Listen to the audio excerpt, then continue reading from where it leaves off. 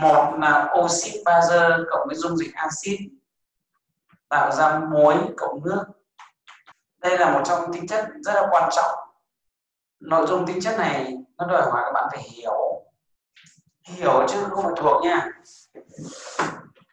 Nào, nói về oxit bazơ thì chúng ta nhớ là oxit bazơ là oxit của kim loại, trong đó kim loại có hóa trị từ 1 đến 3 công thức tổng quát là R2ON N thuộc N sao và N nhỏ bằng 3 R là kim loại. Cái ý thứ hai ý thứ hai, dung dịch axit. Dung dịch axit gồm có axit chlorhydric. Nhất định chúng ta phải nhớ trường hợp này, người ta sẽ rất ít khả năng người ta đánh đố các bạn. Còn hiểu tương tự axit chlorhydric là axit bromhydric. Cái thứ hai là axit sulfuric loãng. Hiểu tương tự axit sulfuric loãng là muối hydrosulfat có. Và tức là natri hydrosulfat và kali hydrosulfat thầy dạy đến mức độ này có nghĩa đây là phần mở rộng.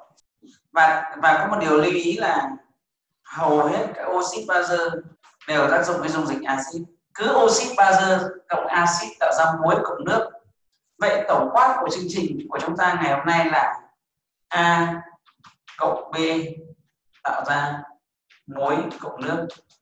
A cộng b tạo ra muối cộng nước. Thầy mới xong em thầy. Ừ. nào thì nhắc lại nhá.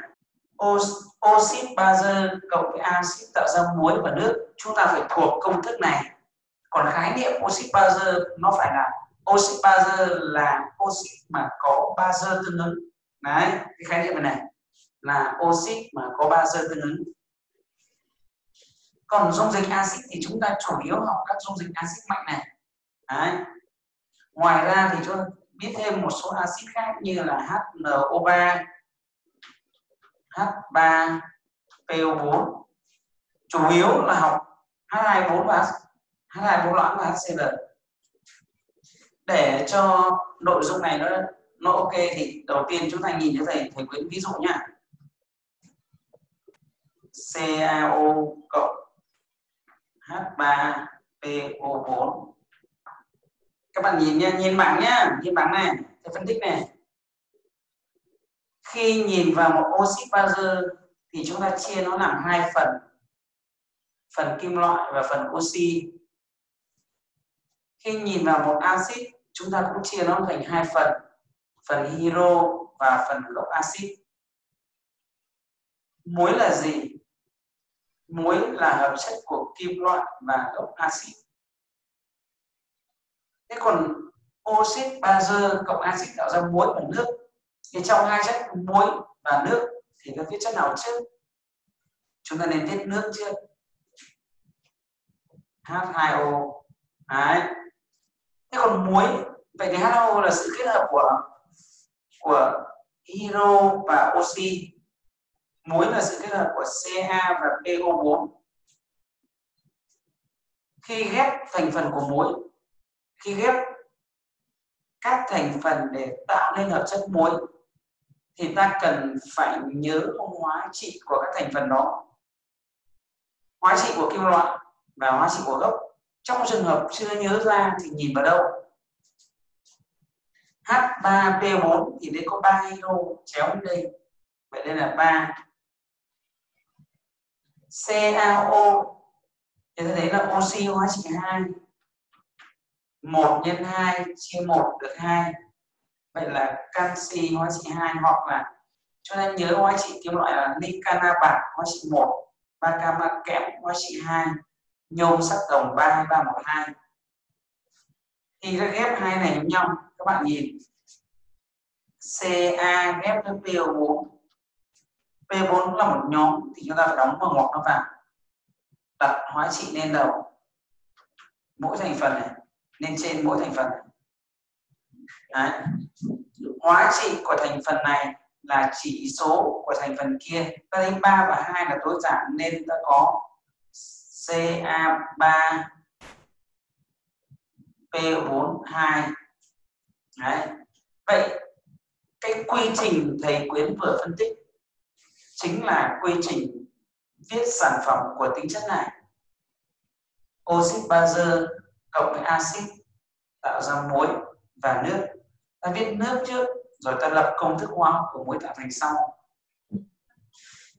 đấy là quy trình viết sản phẩm. Thế còn cân bằng thì sao?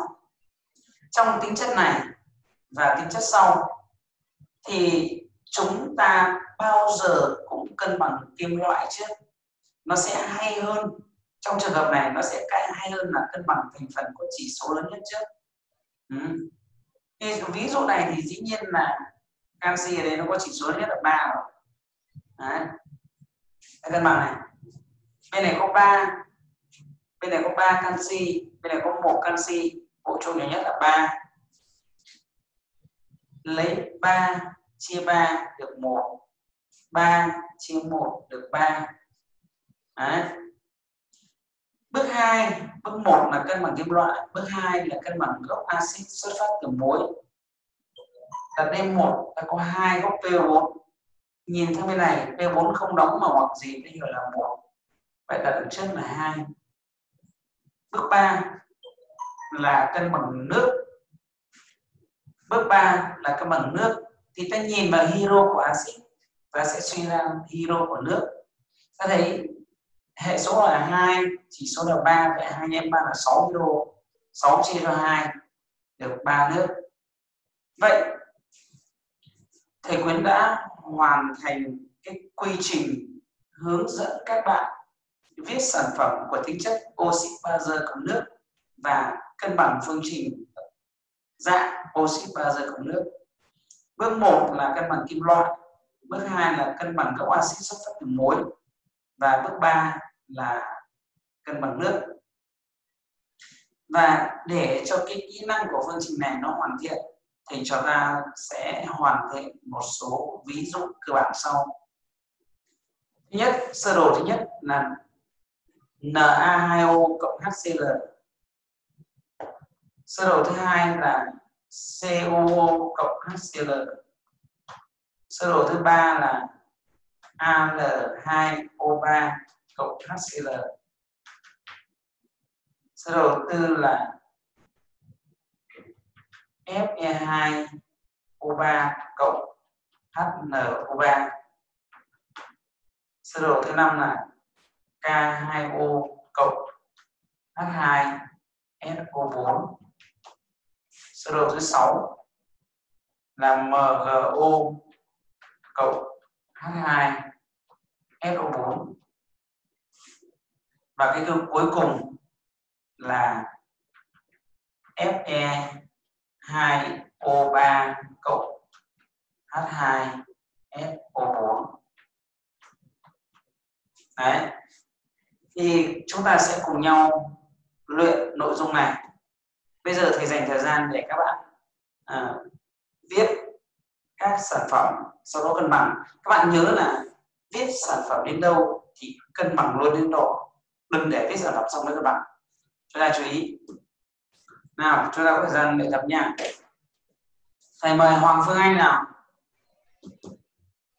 Ờ, em thưa thầy là NaCl cũng H2O. đúng rồi rất tốt đấy. Cố gắng lên nha đấy giờ đọc như thế là sành điệu thế là tốt đấy cân bằng Ờ, 1 2 2 1. ừ. một hai hai một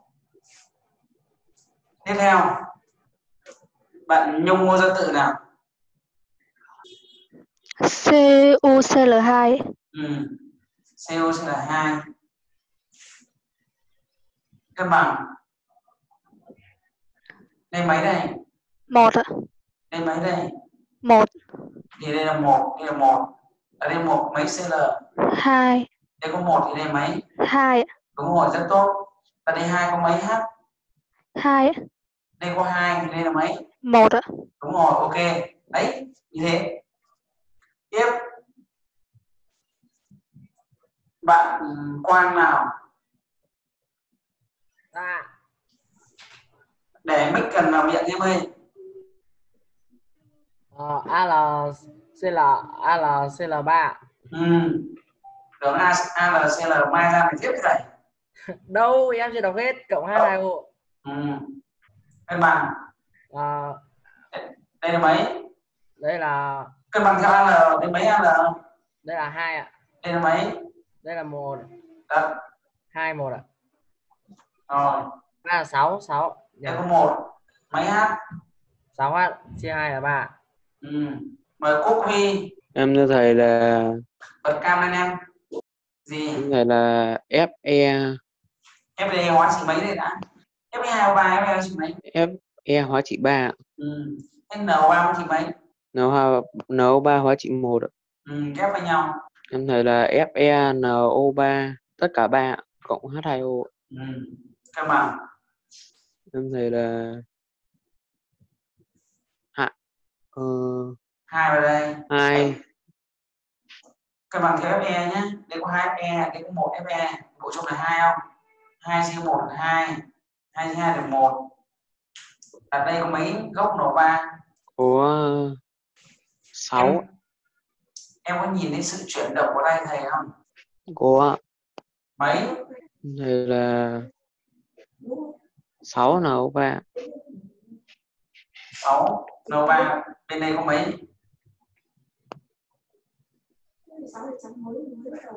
hiểu chưa? Đây có mấy Ủa, đây là ba được chưa? Rồi hiểu chưa? Hiểu rồi ạ. Quỳnh Anh Ngọc Châu nào? Em với thầy là K2SO4 ạ. Ừ. cộng H2O cân bằng. Một ạ.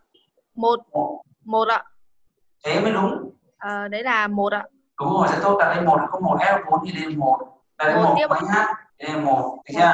Phản, phản ứng tự cân bằng. Nào tiếp theo. Bạn Minh Gia Khánh nào? Dạ em thầy là MGSO4 cộng H2O ạ. đúng rồi rất tốt. Thầy khẳng định với các bạn là cân bằng chưa Minh? Rồi ạ. tiếp theo. Em đưa thầy là tạo ra FE 2 SO4 3 đúng rồi rất tốt nhiều bạn đây là hai không? Nhiều bạn nhìn đây là hai trị hai phải đây trị là ba chuyển đây này. H2O ừ. nhìn nhìn tay thầy nhá. Chỉ số hai đây là mấy? 1 2 à chỉ số này là hai đây mấy? 2 vậy hệ số là mấy? Hệ số là 1 một đúng rồi. Vì bộ chung là hai mà. Tại đây một có mấy s bốn?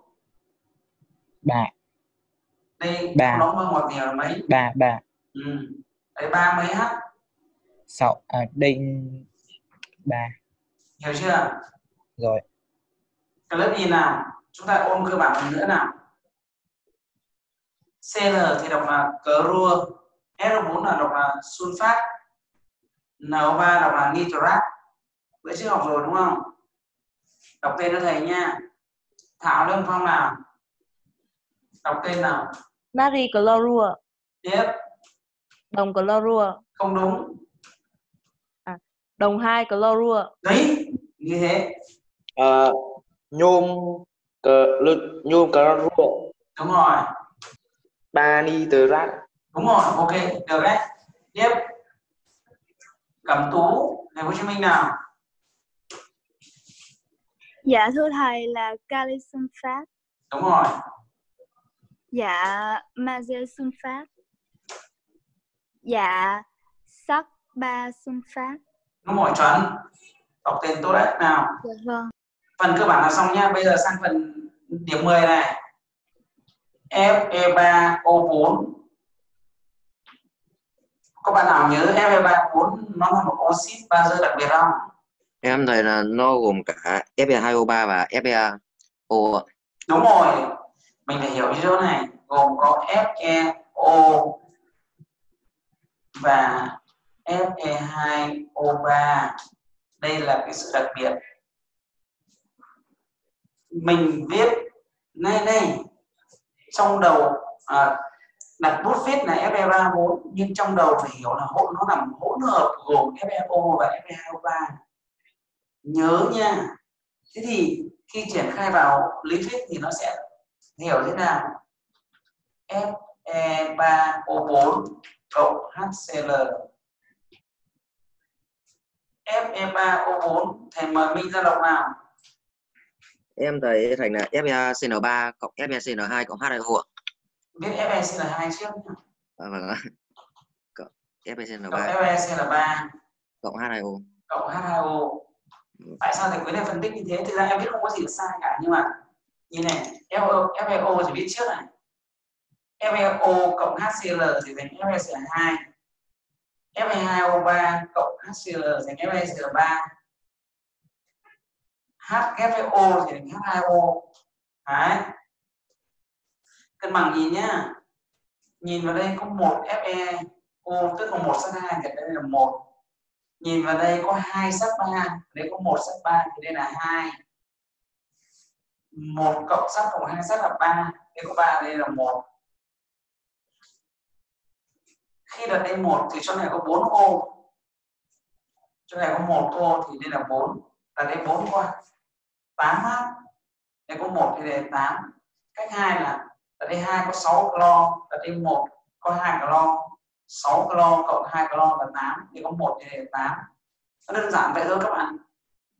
Nhớ là phương trình này là oxit bazơ cộng axit tạo ra hai muối cộng nước, đặc biệt đó là hai muối cộng nước. Những oxy oxit bazơ cơ bản thì là oxit bazơ cộng với axit thì tạo ra muối cộng nước thôi. Còn đây là tạo ra hai muối cộng nước.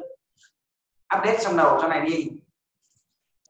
Fe3O4 cộng H2SO4 R2ON cộng với HCl R2ON cộng H2SO4 FeX XOe cộng với HCl FeXOe cộng H2SO4